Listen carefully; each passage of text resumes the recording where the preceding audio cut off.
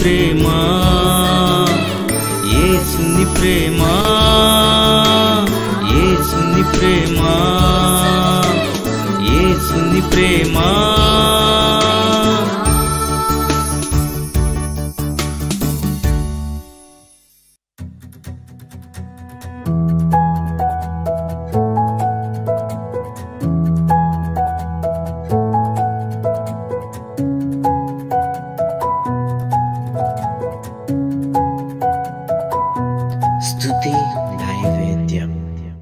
Price అలా ప్రభు నందు ప్రేమైన వర్లారా ఈరోజు దేవుని వాక్యం ధ్యానం చేసుకుందాం. అరవై ఒకటో కీర్తన నాలుగు ఐదు వచనాల మటుకు చదువుకుందామండి. యుగ యుగములు నేను నీ గుడారములో నివసించదను. నీ రెక్కల చాటు నా దాగుకొందును దేవా నీవు నా మృక్కుబడులను అంగీకరించి ఉన్నావు.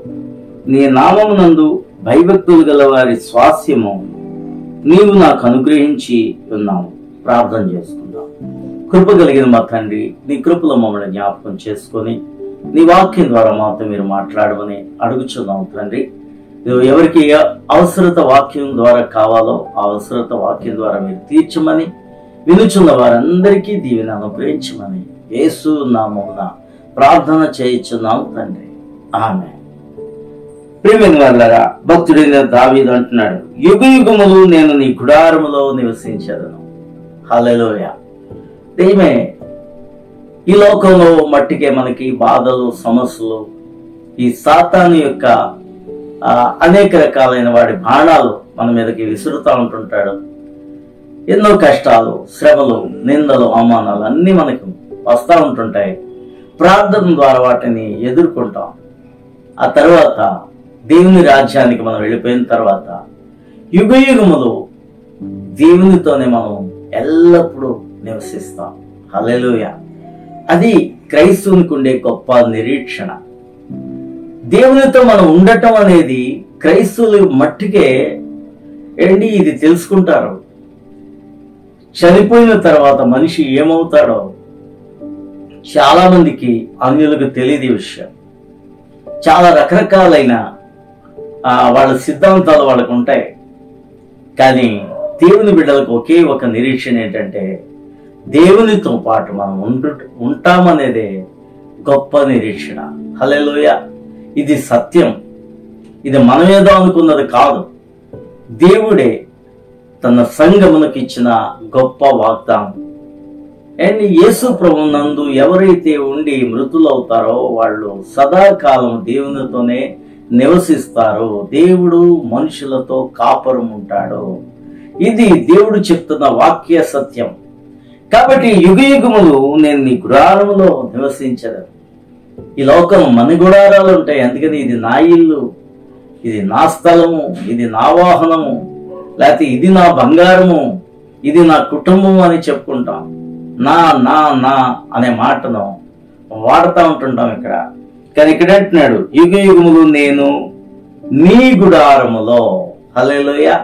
దేవుని గుడారములో దేవుని రాజ్యంలో మనం నిత్యం నివసించటం అనేది గొప్ప ధన్యత. ఆ గొప్ప ధన్యత మనకి యేసు క్రీస్తు ఇస్తాడు. అలెలోయ అందుకనే అంటాడు ప్రయాసపడి భారం మోసుకునిచున్న సమస్తమైన జనులారా నా ఎదుకు రండి. నేను మీకు విశ్రాంతిని ఇస్తాను. అది ఆ గుడారంలోనే విశ్రాంతి ఆ దేవుని రాజ్యములోనే నిత్య సంతోషము సమాధానము నెమ్మది కన్నీరు లేని గొప్ప రాజ్యము ఆ రాజ్యము. ఇక్కడ అంటున్నాడు నీ రెక్కల చాటున దాగుకుందును హాలేలోయ. దేవుని రెక్కల చాటున మనం ఉంటాం. దేవుడు తన రెక్కలు చాచి మనల్ని హత్తుకుంటాడు. ప్రతి ఒక్కరి దగ్గరికి వచ్చి మన కన్నీటిని మన బాష్ప బిందువులని ఏసయ్య తుడుస్తాడట. భూమి మీద ఎన్ని కష్టాలు పడ్డావయ్యా? భూమి మీద ఎన్ని కష్టాలు శ్రమలు పడ్డావయ్యా? నా కోసం నువ్వు ఎంత నిందలు పడ్డావయ్యా? మంచి భక్తి చేస్తూ ఉంటుంటే నిన్ను ఎంతో మంది ఎన్నో మాటలు అన్నారు కదా ఎన్నో దెబ్బలు కొట్టారు కదా. ఈ రోజున ఆ కన్నీటిని సంతోషంగా దాక్ష్యంగా మార్చేస్తానని ప్రతి వారి దగ్గరికి వచ్చి దేవుడు ఓదార్చినప్పుడు అది ఎంత సంతోషాన్ని మనకి కలగజేస్తుందో. ప్రియమైన వాళ్ళారా దేవుని రెక్కల చాటును మనం దాక్కుంటాం. దేవా నీవు నా మృక్కుబడులను అంగీకరించి ఉన్నావు. నీ నామమునందు భయభక్తులు గల వారి స్వాస్థ్యము నీవు నాకు అనుగ్రహించి ఉన్నావు.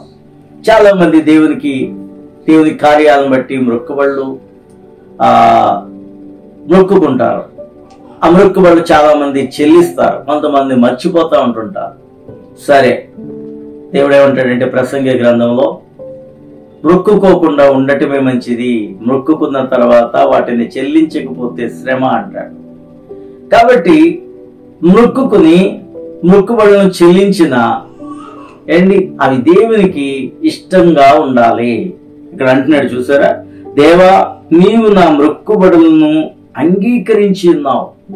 నిజంగా మంచి హృదయంతో మంచి మనసుతో నీతి న్యాయాల్ని పాటిస్తూ వాక్యాన్ని పాటిస్తూ మనం దేవునికి ఇచ్చే కానుక మృక్కుబడి దేవుడు తప్పక అంగీకరిస్తాడు. మంచి క్రియలు లేకుండా కయ్యను అర్పించిన అర్పణ దేవుడు త్రోసివేస్తాడు. హేబేలు అర్పణ దేవుడు అంగీకరిస్తాడు. అలాగే మన మొక్కుబడులు చెల్లించిన అవి దేవుని చేత ఏమవ్వాలంటే అంగీకరించబడాలని నేర్చుకోవాలి. హలేలోయ నీ మనసు బాగుంటుందా? నీ హృదయం బాగుందా? నీ చేతులు మంచివేనా?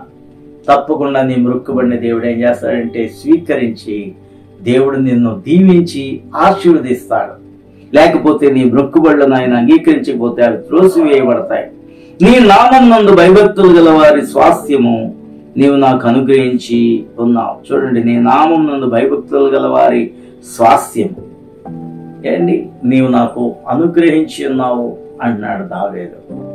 దేవుని నామం పట్ల ఎవరైతే భయభక్తులు కలిగి ఉన్నారో వాళ్ళ స్వాస్థ్యాన్ని దావేదికి దేవుడు ఇచ్చాడట హాలెలోయ నిజమే దేవుని యందు భయభక్తులు కలిగిన వారి యొక్క స్వాస్థ్యము. తన బిడ్డలకు ఎవరైతే మరలా దేవుని యందు భయభక్తులు కలిగి ఉంటారో వాళ్ళకి దేవుడు స్వాస్థ్యముగా ఇస్తాడు. హలేలుయ ఏంటి దేవుని యందు నమ్మికుంచు భయభక్తులతో సరైన భక్తిని చేయి సరైన ప్రార్థనా విధానంలో ప్రార్థన చేయి వాక్యాన్ని అనుసరించు. తప్పకుండా నీకు రావాల్సిన ఎన్ని సమస్తము కూడా నీకు దేవుడు తప్పకుండా నీకు స్వాస్థ్యముగా అప్పగిస్తాడు. నువ్వు పెద్ద ప్రయాస పడక్కర్లతో దేవుడే నీకు నీ దగ్గరకు తీసుకొచ్చి ఆశీర్వాదాలు ఇస్తాడు. ప్రేమైన వాళ్ళారా మంచి హృదయాన్ని కలిగి ఉండండి మంచి మనసును కలిగి ఉండండి. దేవుని యందు భయభక్తులతో శ్రద్ధాశక్తులతో భక్తిని చేయండి. దేవుడు తప్పకుండా మీ పక్షమున ఆయన ఉంటాడు. ఆయన స్వాస్థ్యాన్ని మీకు అనుగ్రహిస్తాడు. ప్రార్థన చేస్తున్నాం. మహాపరిశుద్ధుడా మా తండ్రి మీకే వందనాలు ఆయన మరొకసారి నీ ప్రియమైన స్వరం ద్వారా మాతో మీరు మాట్లాడుతున్నందుకు వందనాలు. ఈ వాక్యం విన్న ప్రతి ఒక్కరిని దీవించి ఆస్వాదించమని ఏసునామున ప్రార్థన చేయించున్నాం తండ్రి. ఆమె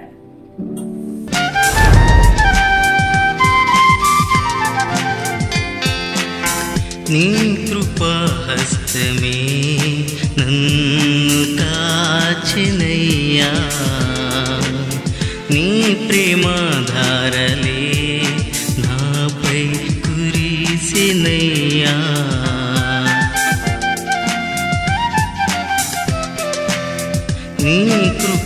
కృపాహస్తమే నన్ను కాచినయ్యా.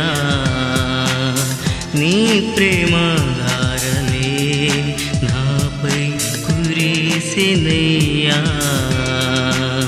నీ కృపే నాకు చాలు నీవు నా నా